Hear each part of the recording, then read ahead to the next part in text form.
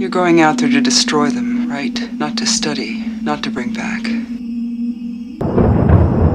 I can't lie to you about your chances, but you have my sympathies.